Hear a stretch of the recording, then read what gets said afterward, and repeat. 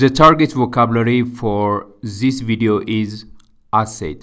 asset የሚለው ይህ የእንግሊዝኛ ቃል በአማርኛ ንብረት ማለት ነው።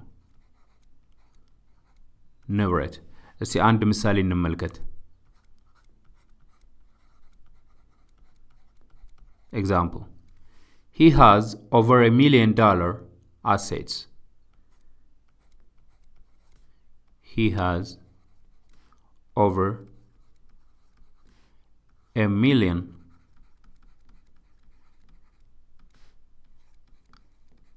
dollar asset. assets Okay። በዚህ አረፍተ ነገር ውስጥ ያሉ ቃላትን ደግሞ እያወጣን እየተነተንን የበለጠ ለመረዳት እንሞክር።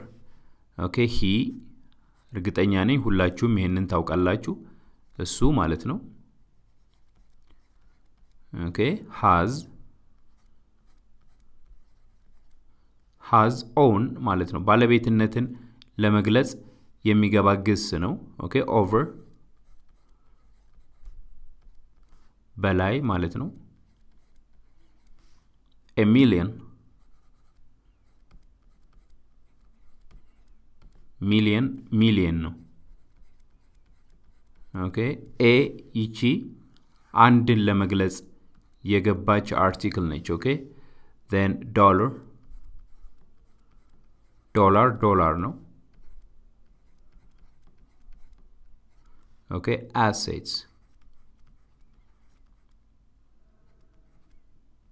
ንብረት።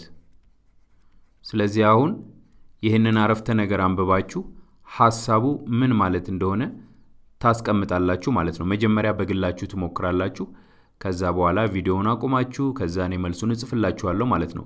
He has over a million dollar assets ከሚሊየን ዶላር በላይ የሆኑ ንብረቶች አሉት።